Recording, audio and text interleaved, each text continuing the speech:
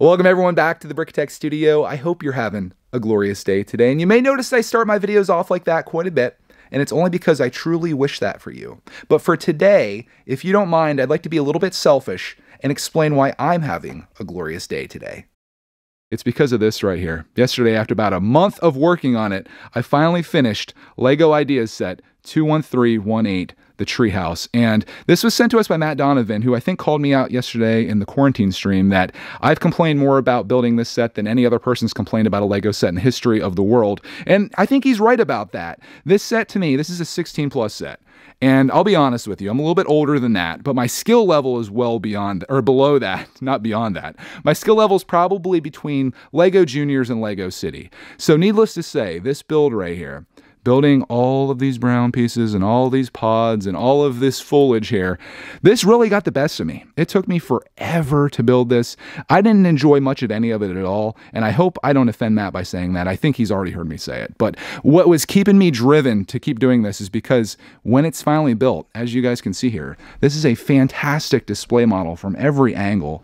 It looks glorious. I had some debate whether I was going to build it with the fall leaves, but everyone seemed to really enjoy the summer ones, and I do too. I think it looks really cool. So this set was, it was something else, man. It was it was troublesome for me, but we got it done. I do have a couple extra pieces that I probably shouldn't have, and I know that I messed up some of these branches somewhere with like some intricate pieces here and there. But overall, if you just kind of step back and take a look at it, it does look really awesome, but I have to say, I am so happy to finally be done with this and just, just have it on display because that's what I really wanted. As much as I joke about the complications of this build and how I can't handle it, mainly it came down to just kind of boredom. Like building this entire section was like six bags. And I guess I just like to move on to things a little bit quicker. Like building the Creator Harley, which is my last big build. That was fun because the variety on that. But this kind of just felt like building the same thing as I went up and up. And then building these things kind of felt like the same thing. Each one of these was like two bags. And then this was just that was the icing on the cake. So yeah, that's that's uh that's kind of the real reason I felt this way, even though partially it was just because it was it was a little complicated, I suppose. So that's how I feel about the treehouse, and I can already feel the comments coming in. I can read them in my mind already of the people that are like, Greg, that is so rude. Someone sent that to you. How dare you say that you didn't enjoy the build? Why aren't you more appreciative of the things that you get. And here's the deal I am very appreciative of that, but I also think it's important to be honest. I don't think it's doing anyone a service to say, Oh, Matt, thank you so much for this. I had so much fun building this and put on this fake front. That's not me. And that's the thing. Like, if any company ever came to me and was like, Hey, Greg, I I would love you to review this thing or do this thing, even if it was Lego themselves. I would give my 100% honest opinion because that's what I'm basing this entire YouTube life off of that I've built here is authenticity, being real, being honest. People appreciate that. People want more of that, and there should be more of that. So, Matt, I'm sorry if this offended you or anyone else that's watching this. If you feel like I should have given like a false review of this, I do like it as a display piece, but the build itself, at least for me, and this is just my opinion. I talked to other people in the streams that have loved the build of this. It's just my opinion. That's how I feel about it. And I think that's fair, and I think I have the right to share that. So, Matt, thank you so much for sending this. It's going to look fantastic here in the studio, and I'm just happy at this point to to be able to say that. But that does take us to the next thing that we need to do. And I'm still doing these quarantine streams on Brickitect Live. If you're not subscribed, what are you doing with your life? You probably do have a life. But if you don't have a life, Brickitect Live every day at like 1 o'clock, 2 o'clock, I'm doing live streams of things that I'm building, like the treehouse for like the last week. But I'm ready to move on, as you can probably tell. And I can only think of one thing that we could possibly move on to. Well, there's actually a lot of things, but I can think of one thing that I really want to move on to. That takes us to the unboxing portion of today's video. And this set is LEGO Creator Set 10271. This is the Fiat 500. Recently picked this up. I'm sure you guys have seen this set, whether it be on my channel or any other channel. It's a Creator Expert set, and I love these scale vehicles. I think these are fantastic. I'm actually going to be building this setup this afternoon, at least the first part of this on Brickitect Live, which will have already happened by the time you watch this, but that doesn't mean you can't subscribe and catch the future videos because again, we're going to be streaming there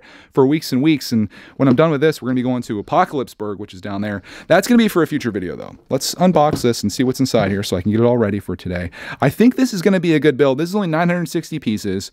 And you might be saying like, Greg, there's a lot of yellow on there. Sure, you're not going to be bored with this. I don't think so. I think there's a lot to this that there's a lot to love and I'm stoked on it. I think this is going to be fantastic, but we won't know until we unbox it, which segues to this clip right now. Let's get to it here.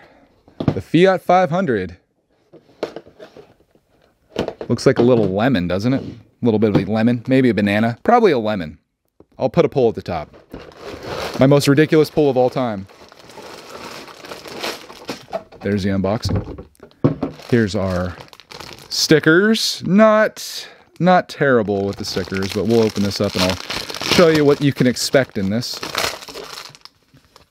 There you go. The one is from the easel that's out front. I really love that little side piece there. I oftentimes call this filler, but in this case, I love that. I love the paints. I love the paintbrush.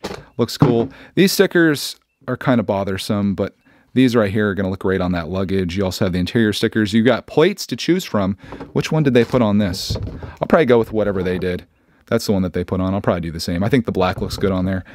What do we have here? Oh, that color would have been nice too, huh? Did like that light blue or whatever, or the, I don't know what you want to call that. It's not green, it's not blue, it's not teal. What is that color? Leave it as a comment down below after you're finished liking the video. See what I did there? But here's the heritage. Le Patrimonio, El Legado. I can do that one. I can pull that off. But here's some information on Fiat if you want to read that. I won't bore you with that, but as a self-proclaimed nerd, I probably will go back and read that. What color do you guys like the most on here?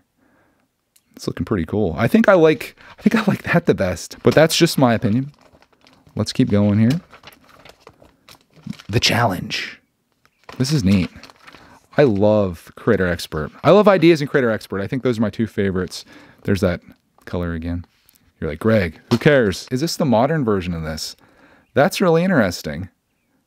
The more things change, the more they stay the same, guys. Let's get into the actual build and see what we're looking at here. Of course, a lot of Technic to start out with to build the base, which in bag one, that's what we're doing there.